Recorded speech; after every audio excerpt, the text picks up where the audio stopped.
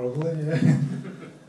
no, it's you sort of live by the sword and die by the sword, don't you? So if you if that's how you defend certain players and it doesn't come off, then you've got to give the, the opposition a pat on the back and say, well done, you've executed it well enough to, to score. But you know, I thought it was good. I thought it was, the second half it was, it was outstanding. It definitely uh, a game of two halves. It definitely was. Uh, we we started with lots of vigour and want and will. And then after 10 minutes or 12 minutes, we just dropped away and we did our best to lose the game. We couldn't complete a set. I think we, we got down to good ball about three or four times and we, we completed a set once and Louie McCarthy scored. There's a bit of a moral in that tale for my team, but we had a good chat at half time and, and they came out and they came out fighting. You know, they was very spirited and you know the resilience to to defend the game is you just can't fault it. That's two weeks in a row we've we've backed, backed our defence and to, to sort of seal the victory for us and, and we've come up we've come up trumps and know, I keep saying to the players you, you can't fabricate stuff like that. You can't fabricate togetherness, you can't make it up and it's something that, that happens over a period of time and, and you can't give them will and want. You know, that's that's what they've got to have the self and, and the fight to defend their own line, you know, is it was stellar. It was, you know, they should be proud of what they did.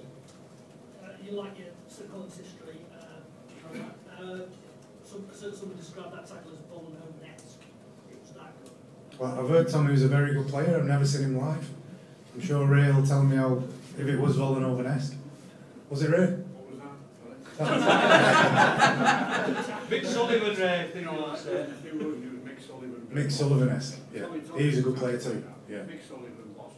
No, it was, it was good. And it's good to get your monkey off the back, you know.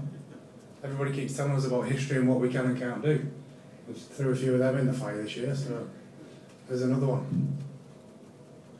You said you had a, a, a chat at half time about things. Was it, was it a bit more than a chat? Did it, did it involve any ranting and raving? No, I'm, I'm not that aggressive in the dressing room anyway. I don't, I don't feel like, I mean, don't get me wrong, they, if they deserve it, they'll get it, but I don't think they deserved it.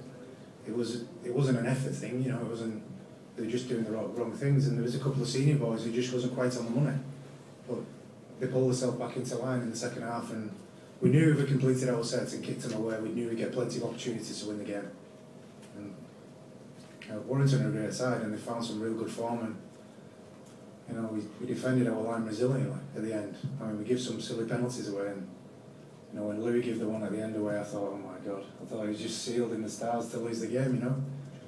And then Saints, instead of just closing the game out, you got about 30 seconds, 40 seconds to go. We're trying to play around them, and I'm like, well, you know, the game's history now, and we got the two points, and hopefully we'll learn a lot from that first half.